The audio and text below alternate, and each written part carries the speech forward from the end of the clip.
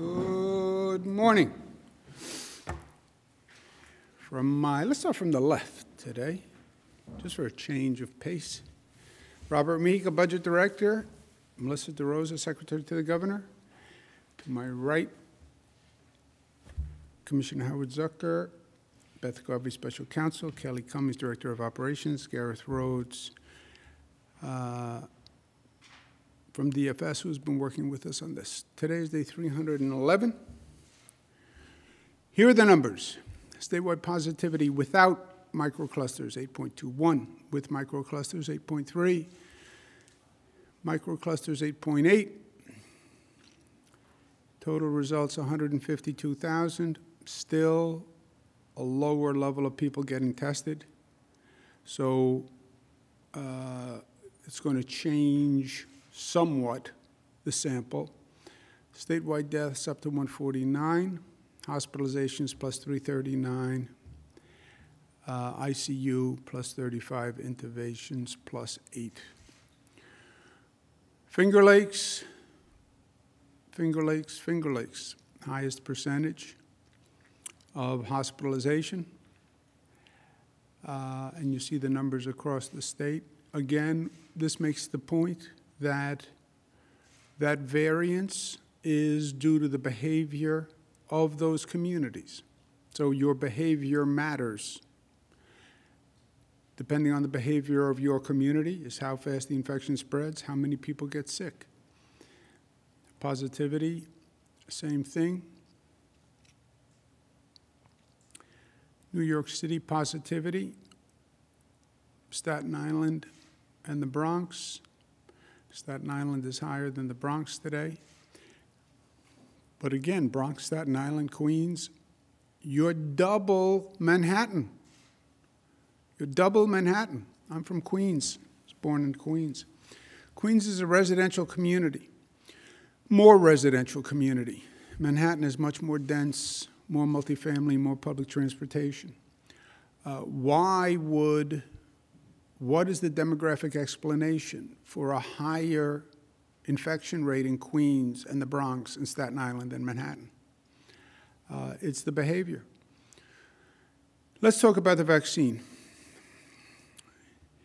The, there are two elements to understand the vaccine. One is the amount of supply we have as a nation, as a state, and then one is the distribution. Two very different elements that have to be considered. The supply, the production by the drug companies, the purchasing by the federal government, that's all a national responsibility. Um, how uh, they can spur the drug companies to do more how they can wind up buying more from the drug companies. The entire supply is controlled by the federal government. We have been getting about 300,000 per week. Uh, that's roughly 1.2 million per month vaccines, okay? Uh, the state needs 20 million people vaccinated. Uh, you have to do that twice. That's 40 million. Uh, obviously, it's a very long timeline at this supply rate. So the supply rate has to increase, and the supply rate is the limiting factor now. Uh, I've been talking to the federal government about this. There are possibilities that they're working on. Uh, you can acquire more Pfizer and Moderna vaccine. You can approve the AstraZeneca vaccine. You can approve the Johnson & Johnson vaccine, which is a single-dose vaccine, which is a lot easier. There are other drug companies that are also working on vaccines. So we hope, pray, and expect the supply from the federal government will be increasing. But we need it to increase. You then go to the distribution side. On distribution, the uh, federal government is in charge of some of the distribution in the state, and then the state is in charge. Uh, distribution, as we discussed yesterday, think of it in three tranches nursing homes, hospitals, and what we call special efforts. The nursing home program is run by the federal government. And it is a federal, national federal program where they said, we'll do the nursing homes and we'll contract nationally with uh, pharmaceutical chains to do the nursing homes. That has not moved as quickly as we would like to see it move. The state is now going to step in and expedite that program. Uh, we would like to see all nursing home residents vaccinated, first shots within two weeks. Uh, they're doing the staff along with the residents. That would be a very big deal if we can get the nursing home residents vaccinated. Uh, you then go to the hospitals. 194 hospitals, 24 public hospitals, 170 private hospitals. Obviously, the overwhelming effort is done by the private hospitals. We need them to operate, and we need them to operate quickly. We put in place the seven day use it or lose it. Uh, you know, there are 194 hospitals. If a hospital is not competent uh, and can't do this, we'll use another hospital. Uh, it's very simple. We have 194 hospitals. We have other hospitals that, who can do it. So I need the best hospitals with the best management in the best systems as part of this effort uh, because it's literally a matter of life and death, right? And 194 hospitals, like anything else, some are better uh, at certain things uh, than others. And here we need the best with the best management uh, because the stakes are just too high. On the special efforts, that's where we're going to talk about state sponsored efforts, drive ins, uh, and the social equity efforts, the churches, the restaurant, the churches, the uh, community centers, et cetera. Hospitals have been the primary focus because 1A, the people we're now vaccinating, are healthcare workers. How do you get healthcare workers? You get them through the hospitals. That's why the focus has been on the hospitals. Uh, why is the focus on healthcare workers? That's the CDC guidance uh, basically every state in the nation has accepted healthcare workers because they are the front line. Uh, they are exposed to people with the virus, and if a healthcare worker gets sick, they are then a super spreader. We have it opened for all healthcare workers are now eligible, and the hospitals are focusing on the healthcare workers. So far, 900,000 vaccines have been distributed for 2.1 million healthcare workers. Uh, obviously, we don't have enough vaccine distributed for all healthcare workers. Uh, well, uh, let's open it up to other people, forget the healthcare workers. You can't forget the healthcare workers. Uh, these are the nurses, these are the doctors, these are the people who are on the front line. Uh, and uh, it's, they are in the greatest risk and they are also the greatest threat. Uh, we have a Saratoga uh, jewelry store uh, employee who has COVID that we're doing the contact tracing. He was in a retail store. A lot of people walk in and out of a retail store. Uh, super spreader. What happens if a nurse or a doctor is COVID positive and sees 100 patients during a day? Healthcare workers are the first priority for both reasons. And we've only allocated half the vaccine to do the size of that population. Uh, that's why I say a lot of this is a supply issue as well as a dissemination issue. If a hospital has done all their healthcare workers uh, and says, uh, we're maxed out, we've done everyone, fine, then contact us and we'll take that supply back and we'll go uh, to the next tranche, we'll go to essential workers. But as a group, we've only allocated, we've only distributed half the vaccine necessary to do the healthcare workers. Uh, after we finish 1A, healthcare workers, then we go to 1B, which is essential workers and uh, people who are 75 plus. That's roughly 2.5 million. So again, you go back to the supply issue. If you're getting 300,000 vaccines per week, how long will it take you to do 2.5 million people, right? Uh, On the hospitals, there's two dimensions. The hospitals now are the focus because the hospitals are focusing on the healthcare workers. Once you get towards 1B, essential workers and 75 plus, then you're dealing with members of the public. And then we're going to shift from the focus on the hospitals to what we call the retail network. What is a retail network? The retail network is a public distribution for essential workers in the general public. Uh, and that is uh, already underway. We have 5,000 pharmacies in this state. You can call a pharmacy uh, and you can get it. We have federally qualified health centers, county health departments, urgent care clinics, uh, your private doctor network. We'll be supplying all of these outlets with the vaccine to do the distribution when we get to the general public.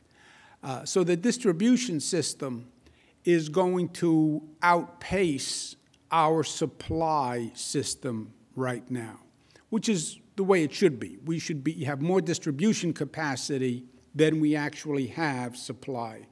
Right now, we've enrolled 3,700 providers, uh, sites statewide and we're continuing to grow that. Uh, what are the providers who are going to be doing this? Medical practices, pharmacies, uh, long-term care facilities, FQA, federally qualified health centers, hospitals will still be doing it, urgent care facilities will be doing it, uh, then community centers, rural centers, et cetera. Uh, we've signed up hundreds in uh, every region across the state. Uh, we have 845 signed up distribution centers in New York City that are ready to go, 700 on Long Island, 150 in the North Country. So we have a retail network. Retail network is not the best expression because also people don't have to pay for this vaccine. There will be no copay, there'll be no charge. So retail can be a little misleading, but uh, I couldn't come up with a better word. Uh, of the 3,700, 636 already have vaccine. Uh, they are distributing vaccine to the healthcare workers along with the hospitals. So healthcare workers can either go to the hospitals that we've been discussing or they can go to uh, 600 sites that are across the state. Uh, of those sites that actually now have vaccine for healthcare workers, 244 federally qualified health centers, then the hospitals, urgent care centers, local health departments. This is where the uh, sites are that can now serve healthcare workers. New York City, 200, Long Island, 105. So there's a network out there besides these hospitals where people can go if they're eligible, if they're healthcare workers, uh, right now. In addition to the hospitals and the retail, there'll be what we call special efforts. Um, first, I'm asking police departments, fire departments, transit workers who are going to be essential workers, uh, if they can operationalize their own vaccination system. Uh, in other words, New York City Police Department, NYPD, uh, they can organize their own distribution system and vaccination system. The FDNY, New York City Fire Department, can, can operationalize and organize their own system. They have their own employees who can do the vaccines. To the extent we can have the essential workers use their own employees or their own health system provider to do their own vaccines, that removes a burden from the retail system, if you will. It removes them from the hospital system, right? Uh, so, New York City Police Department, uh, they could go to the New York City public hospitals for a vaccine, which would then overload the New York City hospitals, or they could do their own vaccines. FDNY could do their own vaccines. Uh, the teachers union, the transit workers union, all these frontline essential workers, uh, please now think about organizing your own system so it alleviates the burden on the retail system, which is going to have to be dealing with the general public. Uh, if a police department doesn't have the capacity to do it, fine. Fire department doesn't have the capacity to do it, fine. Uh, if a uh, teachers union doesn't have a local health provider, then fine. But for those larger uh, workforces and those larger unions that can do this, I want you to start thinking about it now, and I would appreciate it because it will take that much burden off the distribution system. And the larger police departments, uh, Buffalo PD, Albany PD, Rochester PD, Syracuse PD, uh, I think many of the larger police departments in the state, we have over 500, but many of the larger ones can handle the vaccine themselves. Same with the fire departments. Uh, EMS, EMT people can do these vaccines. So I'd like them to start thinking about that now because I'd like to reduce the burden on the hospitals and the private system uh, whenever possible. On the special efforts, uh, on top of this retail system, you're then going to have large state sites that are set up uh, Javits Center, we're going to use SUNY CUNY, where you'll have drive-through vaccine uh, uh, operations. Again, we need the supply to do that, uh, but uh, we are already setting those up. We did it with the COVID testing. We'll do it again here. Uh, and then I've made a point to say this state is going to make a statement as to social equity. And uh, we're going to make sure that the social injustice and the healthcare disparities that we've seen are not replicated.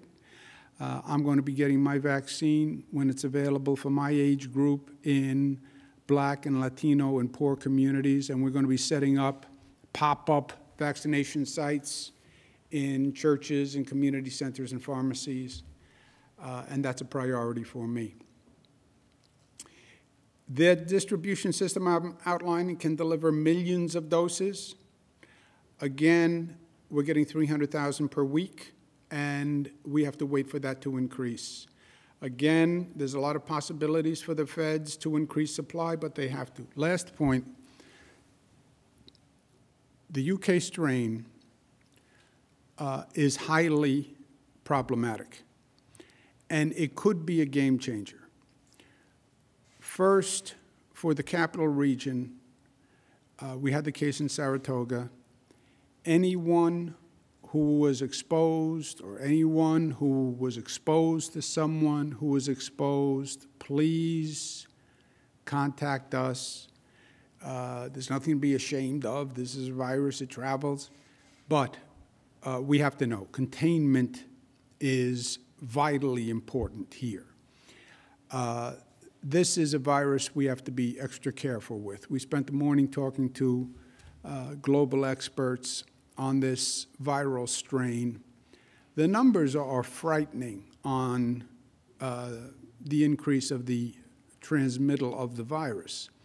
Even if the lethality doesn't go up, the fact that it is so much more transmittable is a very real problem. And look, we are in a foot race right now, as we said, between the vaccine implementation versus the infection rate and hospitalization capacity. That's the foot race. This UK strain changes the whole foot race because the UK strain, uh, the, the rate of transmission goes way up, the rate of infection goes way up uh, and it's no longer the race that we were running. Apparently, the UK strain can actually overtake the original COVID strain in a matter of weeks. That's how quickly uh, it can transmit. Um, it, this is something that we have to watch and we have to pay careful attention to. The UK strain is not only in the UK, it's in South Africa, it's in 33 other countries. But it dramatically uh, increases our challenge, and we have to be aware of it. You know, this virus has been ahead of us every step of the way. And this country has been playing catch up every step of the way. Uh, and it's time we stop, and it's time we become more competent. You know, government was competent. Government is supposed to be competent. Government leaders are supposed to be competent. They're not supposed to be about excuses uh, and, and apathy and bureaucracy. Uh, why do we not have mandatory testing of any, everyone flying into this country? I mean, why not? Not a travel ban, just mandatory testing. We have gone through this. Just test all international travelers before entry. Tell the airlines you have to test them before they get on a plane to come to this country. Or say, if you land in this country, we're not going to allow you in until you take a test. 140 countries banned or required testing of UK uh, travelers before the United States acted. 140 countries. New York acted before the United States. I called the airlines and I said, I want New York to be added to the 140 countries. And they added New York to the 140 countries. What's really infuriating this is what happened to us in last spring. Learn the lesson. The virus left China. The virus went to Europe. It was in Italy. It was in the UK. People got on a plane, came to New York. And that's why New York had the explosion. That's what I call the COVID ambush. We've learned nothing. So now there's a second strain, and it came from the UK again. And again, the USA did absolutely nothing. Secretary Azar, Dr. Redfield, how you can explain to the American people your lack of action, your negligence, your irresponsibility. 140 countries banned people from the UK, and you did nothing. You know that there are viral strains in other countries now. You know that as a fact. Why wouldn't you mandate testing? How many times do you have to learn the same lesson over and over? What happened to competent leadership in government? The USA must act. If the United States won't act, then New York State will act. But I can't allow people to fly into this state who we know are coming from countries that have other viral strains. New York loves being the gateway. Uh, we welcome people from all across the globe. We are on the eastern seaboard. That's always been our role. That's how we all wound up here. We celebrate it. But to allow the virus to be landing at our airports uh, and to make uh, New York a petri dish and the federal government does nothing, uh, I can't allow that to happen. I wouldn't be doing my job uh, as governor of the state of New York. Let's take some questions.